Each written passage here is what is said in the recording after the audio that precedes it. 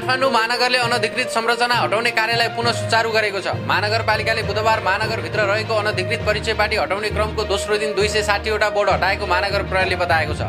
महानगरले बानेश्वर प्लाजाबाट त्रिचालिसवटा पुतली सडकबाट त्रिचालिसवटा महाराजगञ्जबाट बहत्तरवटा र कालीमाटीदेखि बल्कुतर्फको सडक खण्डबाट एक सय दुईवटा परिचय पार्टी हटाएको नगर प्रहरी निरीक्षक लीलाराज गच्छाले जानकारी दिएका छन्।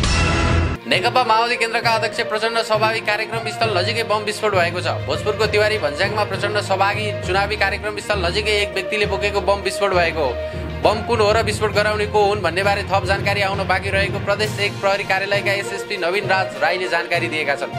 बम विस्फोट भए पनि कुनै मानवीय क्षति नभएको प्रहरीले जनाएको छ। पन्ध्र हजार थान नक्कली मतपत्रसहित एकजनालाई प्रहरीले पर्साबाट पक्राउ गरेको छ। मङ्गलबार जगन्नाथपुर गाउँपालिका दुई दसौता स्थितबाट एकजना भारतीय नागरिकलाई प्रहरीले पक्राउ गरेको हो। भारतीय नम्बरको मोटरसाइकलबाट नेपाल आएका बिहारका चालिस वर्ष इजाजत अहमदले पन्ध्र हजार थान नक्कली मतपत्र बोकेको जिल्ला प्रहरी कार्यालय पर्साका डिएसपी दीपक गिरीले जानकारी दिएका छन्। निर्वाचन आयोगले कसैको डर त्रास धाक धम्की वा कुनै पनि किसिमको प्रलोभनमा नपरी मतदान गर्न सबै मतदाताहरूलाई आह्वान गरेको छ। प्रमुख निर्वाचन आयुक्त दिनेश कुमार थपलियाले सबै मतदाताको आफ्नो प्रतिनिधि गोप्य रूपमा छान्ने अधिकार रहेको स्पष्ट पार्दै त्यस विपरीत मतदान कार्यमा सहभागी हुने मतदातामाथि निर्वाचन कानुन बमोजिङ कारवाही हुने चेतावनी समेत दिएका छन्।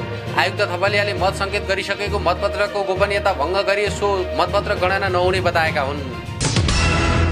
नेप्सेमा करेक्सन देखिएको छ। अघिल्लो दिन छ दशमलव पाँच नौ अङ्कले घटेको नेप्से साताको चौथो कारोबार दिन बुधबार भने तेह्र दशमलव चार शून्य अङ्कले बढेर उन्नाइस सय एघार दशमलव दुई छ अङ्कमा चढेको छ। यसै गरी सेन्सेटिभ इन्डेक्स पनि दुई दशमलव आठ छ अङ्कले बढेर तिन सय छयत्तर दशमलव पाँच सात अङ्कमा चढेको छ। दुई सय बत्तिसवटा कम्पनीहरूको सत्र हजार सात सय दुई पटकको कारोबारमा चौबिस लाख पन्चानब्बे हजार छ सय बाह्र किता सेयर खरिद बिक्री भएकोमा कुल कारोबार रकम पचासी करोड चौरानब्बे लाख अडसठी हजार एक सय अन्ठाउन्न रुपियाँ पुगेको छ।